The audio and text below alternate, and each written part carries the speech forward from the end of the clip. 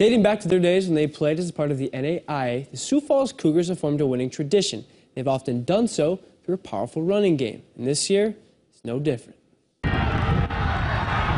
Shoot, if I could, I'd do this forever, but it does feel like my sixth year. Over half a decade ago, after winning back-to-back state championships as a Washington Warrior, there was thought that Thuro Reisdorfer would play linebacker at USF. I talked to the OC, it was his first day, and then I talked to Coach A, I was like, I love scoring touchdowns, coach. Like I can't, I don't know what to tell you. Like, I play, I play running back? You know, because I was gonna walk on anyway. You know, so it was gonna be one of those things where I was gonna have to grind either way to earn a spot on the team. And they gave me the chance, and I ran with it. Entering his third year as a Cougar, Reisdorfer was expected to be the second string running back behind Gabe Watson, who had set the single season rushing record at USF the year before. However, six minutes before the first kickoff. I don't know if this was like a lingering injury, but he got hurt. He had like a hamstring injury.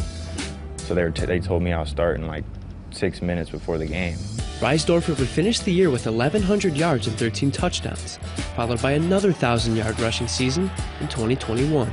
He's a self-made player, and, and that's why it's so exciting to see him uh, have the success that he does, and he's he's remained humble through the whole uh, time frame, and he's just a really, really dependable guy that uh, is going to practice every day. Uh, he's going to lift his teammates up every day, and he's going to be productive every single Saturday. Through four games this season, Reisdorfer has already amassed nearly 500 yards on the ground and seven touchdowns, while the Coup are still undefeated.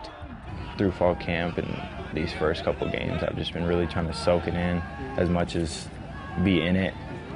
But yeah, I'm just enjoying every minute of it, man, because I know I'm going to miss it like crazy. Reisdorfer was named this week's NSIC Offensive Player of the Week. The Coup will travel across town to take on Augustana this coming Saturday at 1 p.m.